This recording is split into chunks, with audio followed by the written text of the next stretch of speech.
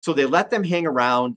It was a grimy game. They didn't close it out really on defense or on offense. And the defense to me, I thought just let they just let Baker do do too much. It felt like Baker almost threw like six interceptions in this game. It, it could have gone that way too. But again, it was a lot, a lot of the short throws, a lot of the quick throws that, that Baker was able to hit.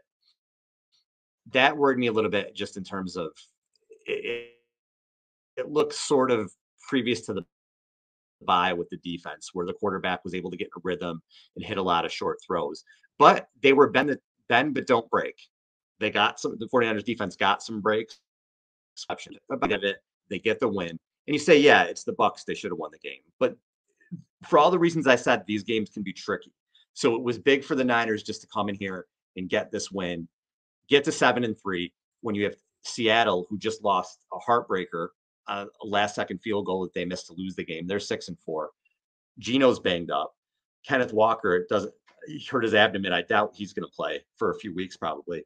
And Geno will see. Even if Geno plays on Thursday, he's going to be banged up with the elbow. So Niners are looking good there.